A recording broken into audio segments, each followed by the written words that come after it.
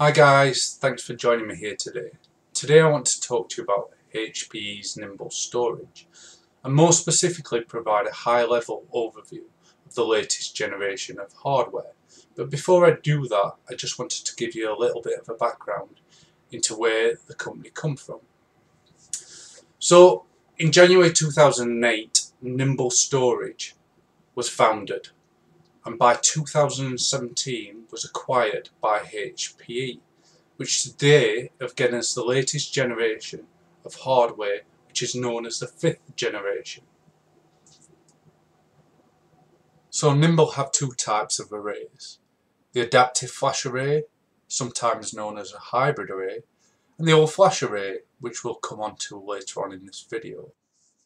So in this diagram we've got the HF20, which is the entry-level Nimble Array, which is for the SME small enterprise space, which delivers 27k IOPS at 4k block on a mixed read-write workload, going all the way up to a HF60, delivering 240k IOPS, again at 4k on a mixed read-write workload. And you may ask, well, what about the C model and the H model. For example, you've got a HF20, a HF20C and a HF20H. Well, the H we'll come back to shortly. But the HF20 supports compression and deduplication. And then you've got the C model, the HF20C, which supports compression only, so no deduplication here and the performance is almost identical across the three of them and that's because it's the same controller that sits in all three.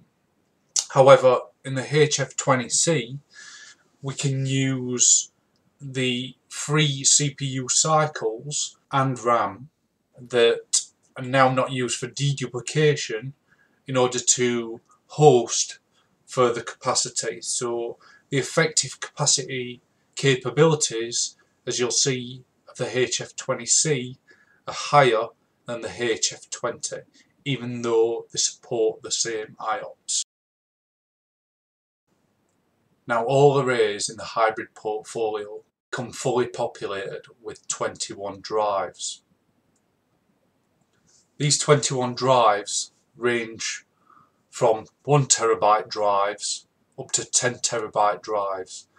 This supporting up to 210 terabytes raw capacity all within the same 4RU rack space. And this brings me back to the HF20H, which is the same chassis but with 11 drives populated. Again, ranging from the same 1 terabyte drives all the way up to the 10 terabyte drives. Now, if 210 terabytes raw capacity isn't enough capacity for your requirement, then Nimble hybrid arrays support up to six capacity expansion shelves that come fully populated, again with another 21 hard drives. It's also worth noting that if you populate the head with, say, 1 terabyte hard drives, that doesn't limit you on having to populate expansion shelves with 1 terabyte drives. So now let's talk about the SSDs in this solution. Nimble also has up to 6 SSDs within the controller head in what Nimble calls dual flash carriers. This is a 3.5 inch HDD to 2 2.5 inch SSD converter which the SSDs used for read caching in a hybrid system.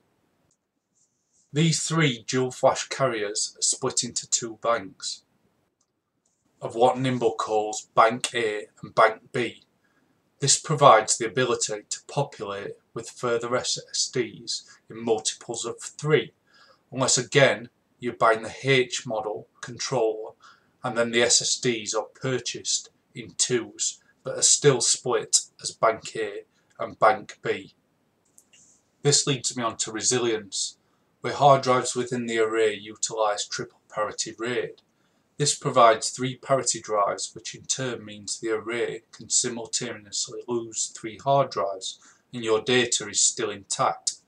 This setup is a non-configurable feature which delivers a simplistic array management without impacting performance. On the back of the array we have two controllers which work in an active-passive architecture which supports the ability to serve storage and provide maximum performance in the event of a controller failure. Each controller is effectively a server. As you'd expect occupies a minimum of one physical CPU, memory DIMMs and PCIe buses which can be populated with Ethernet and or fibre channel cards to provide connectivity. These PCIe cards come in three port type options. Ethernet in 10 gig base T, SFP plus or 16 gig fibre channel.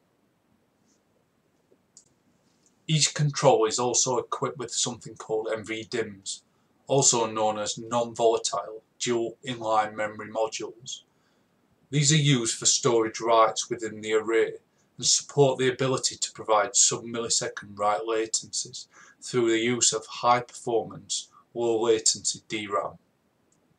These NVDIMMs are backed up using a supercapacitor which supports the life expectancy of the storage device, so gone are the days of replacing battery backup units.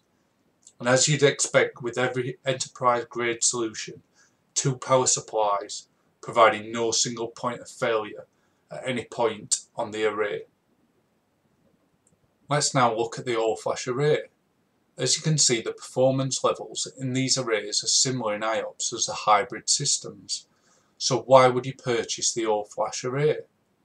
Well, the all-flash array would guarantee low latency reads as all reads would be addressed by the SSD whereas on a hybrid there is only a subset of SSD that would be used for read cache.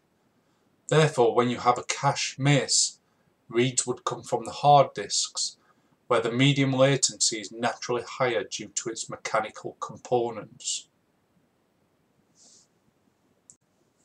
Now the difference on the front of the array. The array is fully populated with dual flash carriers. These arrays support up to 48 SSDs, and again like the hybrid systems are physically split into two banks, however are populated in factors of 24.